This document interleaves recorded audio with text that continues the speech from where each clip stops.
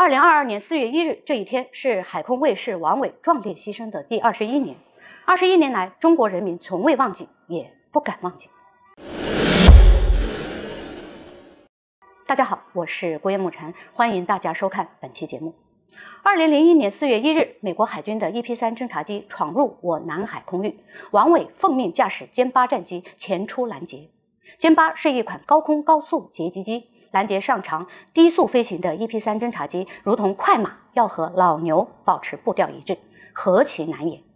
美方飞行员深知双方的机能优缺点，故意将 EP 三侦察机保持在较低的飞行高度和飞行速度，迫使王伟座机以极端不利的飞行姿态与其伴飞，妄图通过这种方式来逼退我方。然而，即便是在如此艰难的情况下，王伟仍然坚持与美方飞机周旋。在这场没有硝烟的激烈对抗中，王伟座机冒着失速的巨大风险，始终紧咬 EP 三不松，直至最后两机相撞，事故发生。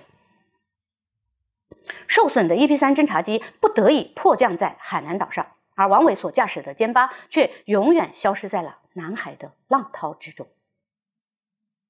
虽然这起撞击事故是美方飞机有意挑衅在先，但事后美方却表现得极为蛮横无理。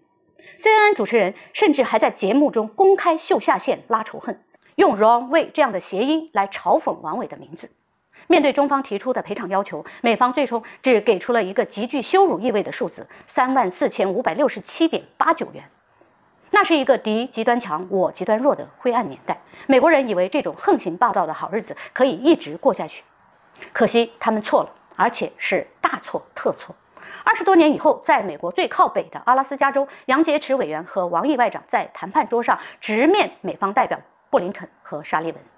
美方依旧气焰嚣张，可身处客长的杨洁篪和王毅却神色自若。当着美国人的面，杨洁篪说出了那句多少年来一直压在万千中国人心里的话：“你们没有资格在中国的面前说你们从实力的地位出发同中国谈话。”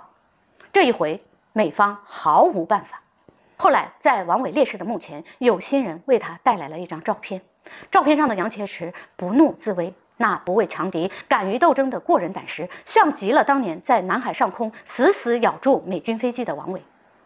二零二二年三月，美国空军将领公开承认，美军的 F 三五战机曾于近期在东海上空与解放军的歼二零发生近距离遭遇，并称解放军飞行员和歼二零给美方留下了深刻的印象。三月三十一日，中国国防部回应称，中国军队武器装备建设，包括空军主战装备建设，取得长足进步，但还有不少发展空间。在捍卫国家主权安全问题上，中国人民解放军始终敢于亮剑，善于亮剑。在王伟烈士牺牲二十一周年到来之际，国防部的这个回应，无疑是对烈士最好的告慰。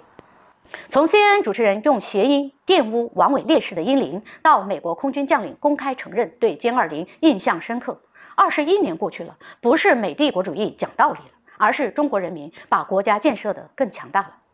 真理存在于歼二零的航程之内，存在于霹雳十五空对空导弹的射程之内。美军飞行员这一回终于看懂了，没敢再像他的前辈们那样咄咄逼人，只是和歼二零打了个照面，便迅速脱离接触，跑得比兔子还快。